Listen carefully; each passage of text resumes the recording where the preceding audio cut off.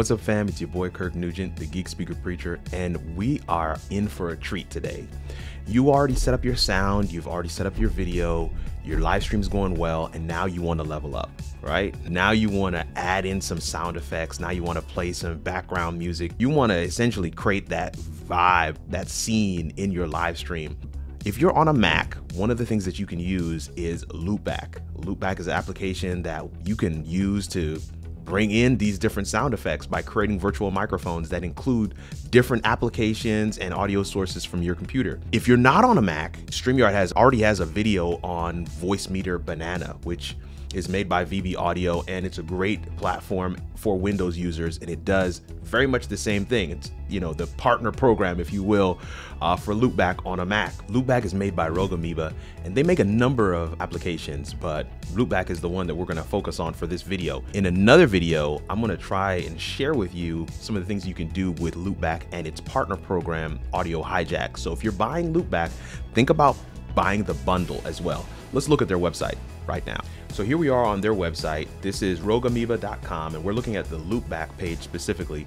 So you can just come right in here. It's got a lot of great information here that you can read, but you can just hit the download button, the free download to just try it out before you buy it but I want to show you the price. It is a one-time lifetime fee of $99. So you get that license key, you unlock Loopback, and you can install it on your Mac and several other Macs as long as they're yours. They do allow multiple installs of the application.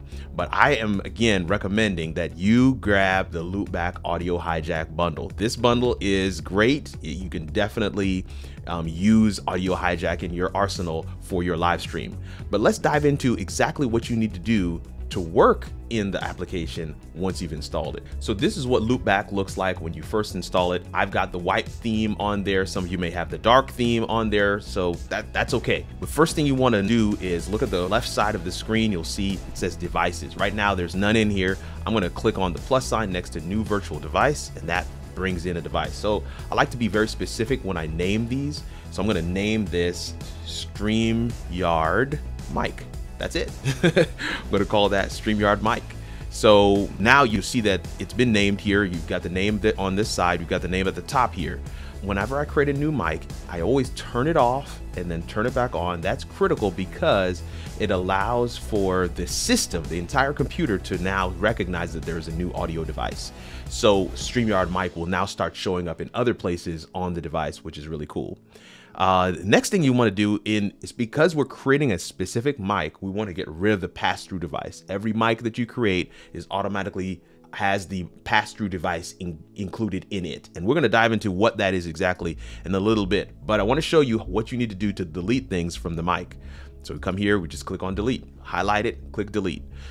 Now you can set up your sources by hitting the plus sign here, set up your output channels by hitting the plus sign here, and set up your monitors by hitting the plus sign here. You see what those monitors are. For the purposes of this video, we're gonna show you what to do for StreamYard, so we're not setting up monitors and we don't need additional sort output channels. First thing you wanna add to your virtual microphone is your real microphone. So I'm gonna go through and add the Shure MV7, that's my microphone, and you can see already that that audio is being picked up. That's pretty good.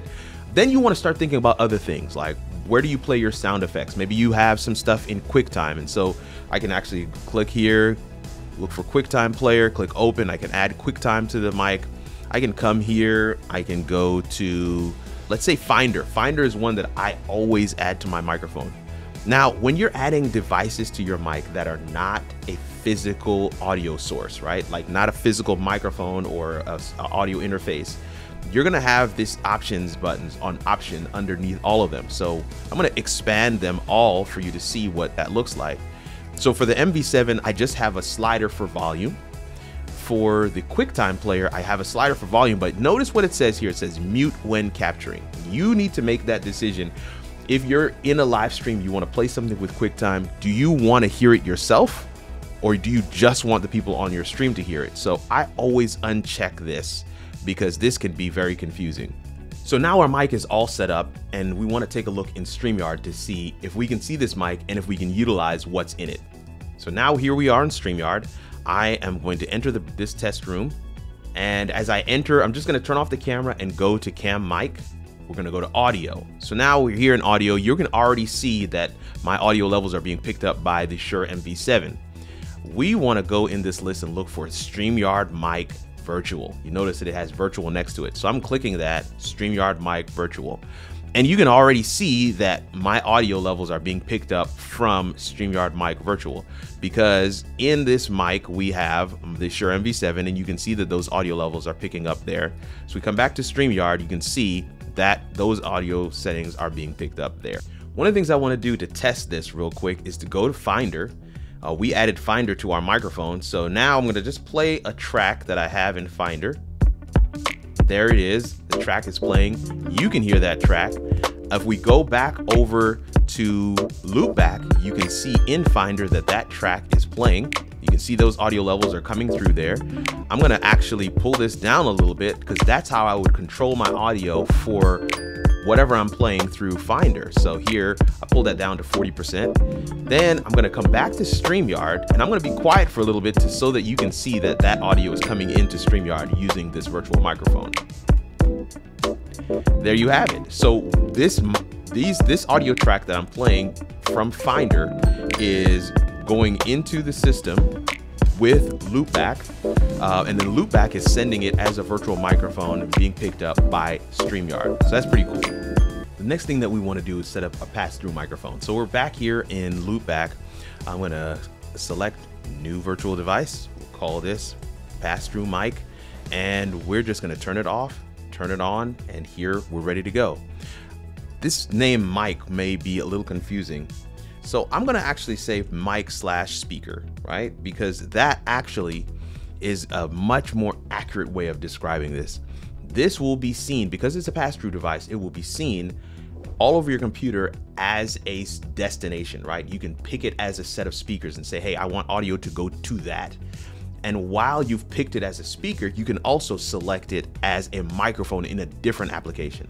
This is the power of loopback. This is the power of virtual microphones.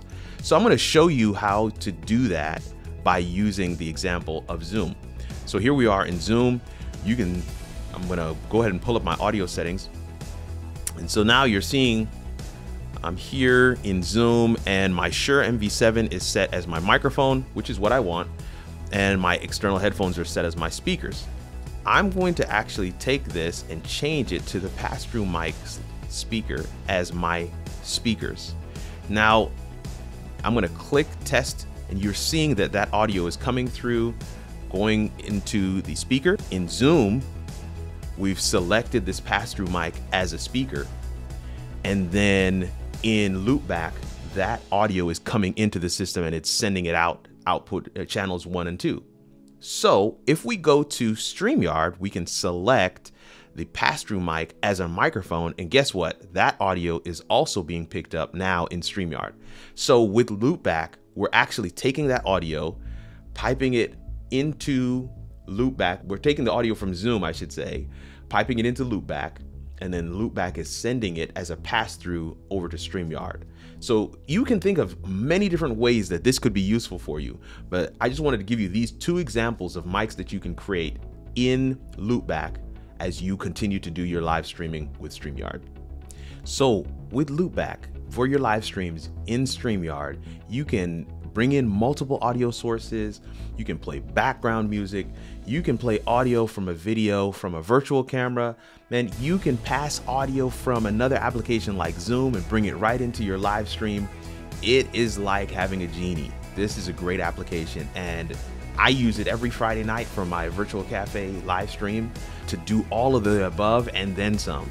Bring in different sound effects that really help to make for a much more engaging live stream experience for both those who are on screen and those who are in the comments. But I'm interested to hear what you're gonna use it for. So go ahead and leave some comments below. This has been so much fun sharing this with you guys. Excited about this space that StreamYard has created and excited that we get a chance to engage with one another in this way. So if you like what you see here, this is what I want you to do. Like, share, and subscribe.